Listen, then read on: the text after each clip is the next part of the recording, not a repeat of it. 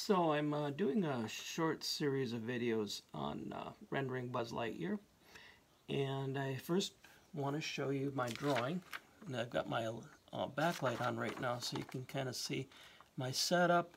I blew him up about 200% of size because I wanted to go into the helmet and show rendering a transparent object but also to get into some of this nitty-gritty detail how to separate these shapes from each other plus the importance of putting a background first in and rendering a transparent shape on black. So having done that, I'm going to turn my light off here. I can reach it. Yep.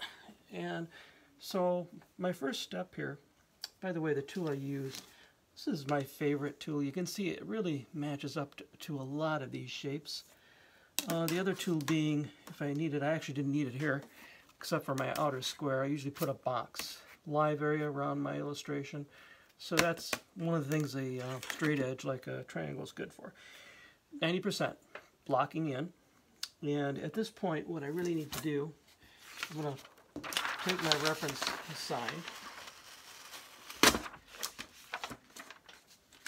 put it over there, and I'm going to just slide a slip sheet under here just for part one, and then I'm going to put a fresh one under here. Um, got to tape it so it doesn't fall like that. Hopefully it won't take too long for me. Can never find where the black tape begins on the roll. Always, always a pain. Uh, okay. So we get that placed. Okay. Now, what I do, you could actually use your um, curve. I could actually take this curve, for example, and uh, perfectly fine to use this with your markers. Run an edge. It's kind of nice. You get a quick, clean edge, and the, the way I do this, it's not a perfect match, so I just keep moving this. I get a nice clean edge, but you know, I could probably almost as easily and quickly freehand up to the edge. And what I will do is literally um, outline. I, what I'll do is I'll uh, stop the video before I spend all the time filling in because we don't need to use a video time doing that, but I just show you how I get this started.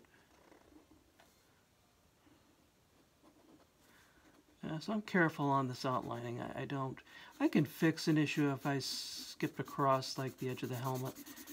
I could do, fix that with white pencil.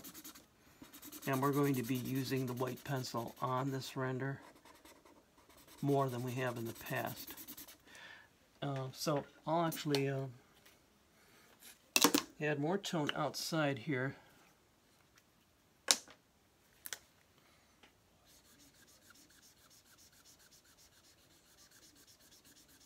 So you can see that.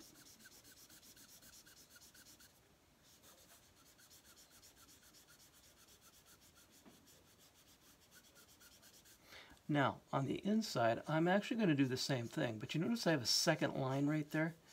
I'm going to go up to that line, and I'm leaving this open arc of white in place. I'm going to try and make it fairly consistently uh, the same width.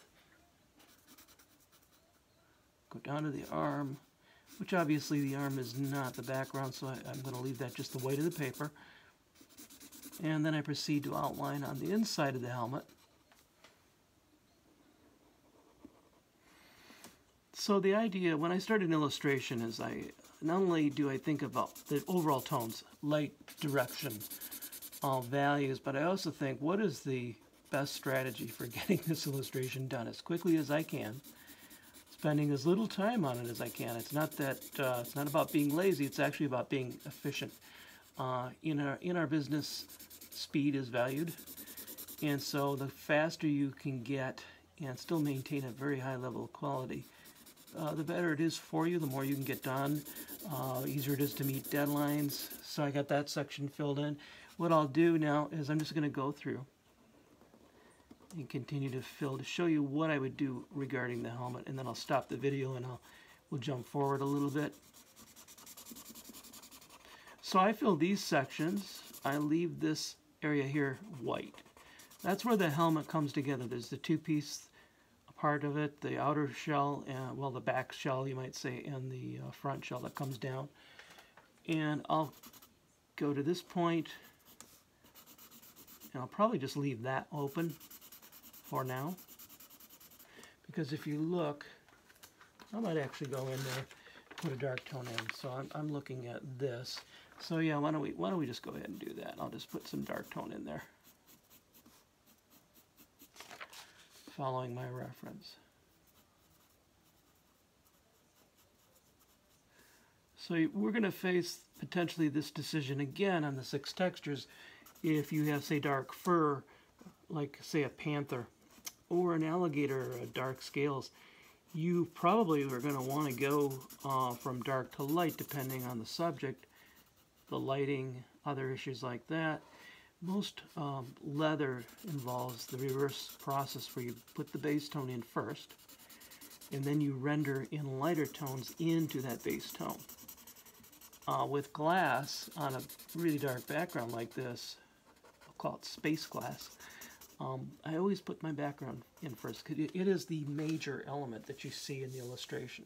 So that literally is how I'm putting that first part together.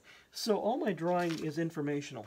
Just a few uh, edge lines, uh, outer edges of shapes heavier line.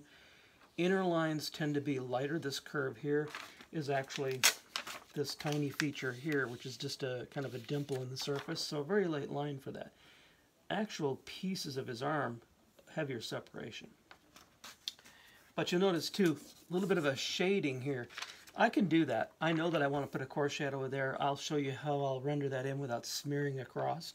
Also blocked in his pupils and his eyebrows because they are near 90% black.